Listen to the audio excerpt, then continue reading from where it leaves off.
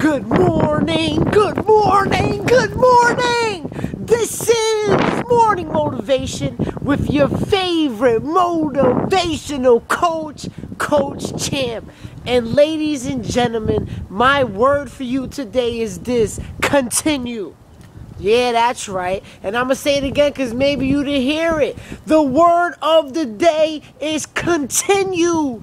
Ladies and gentlemen, if you are not where you want to be just yet, continue to move forward.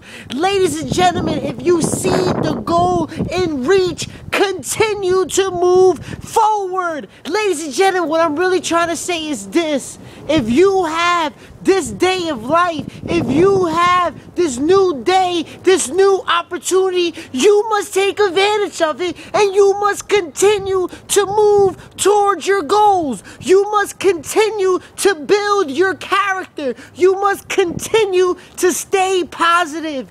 You must not let this day go to waste.